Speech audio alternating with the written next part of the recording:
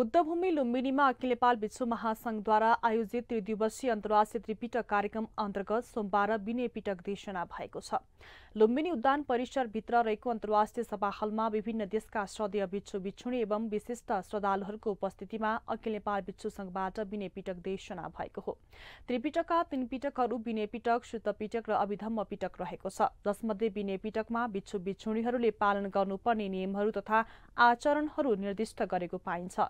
विनय पिटकमा पराजिका पाली पाचितीय पाली महावग्ग पाली पाली र परिवार पाली ग्रन्थहरू गरी पाँच ग्रन्थहरू समेटिएका छन्। सोही ग्रन्थहरूको भिक्षुगण र उपासक उपासिकाहरूबाट सामूहिक रूपमा सोमबार दिनैभरि देशना भएको थियो।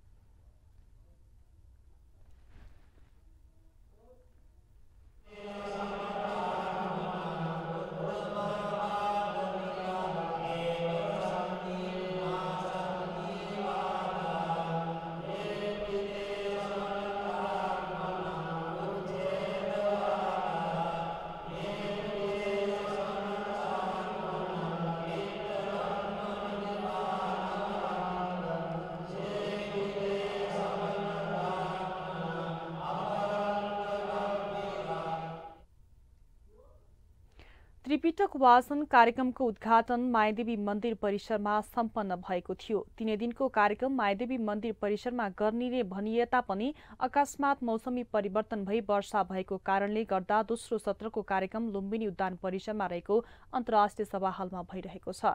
त्रिपिटक वाचनमा Nepal Bharat Sri Lanka Myanmar Thailand Korea Japan लगायत एसियाली देशका भिक्षु धर्मगुरू अनुयायीहरूको सहभागिता रहेको छ। हिनयान महायान लगायत सबै सम्प्रदायका बौद्ध अनुयायीले अवलम्बन गर्ने यो ग्रन्थमा बुद्धको उपदेश सङ्ग्रहित छ। यो ग्रन्थ पाली भाषामा लेखिएको भए पनि धार्मिक प्रभाव अनुसार विभिन्न भाषामा अनुवाद गरिएको छ।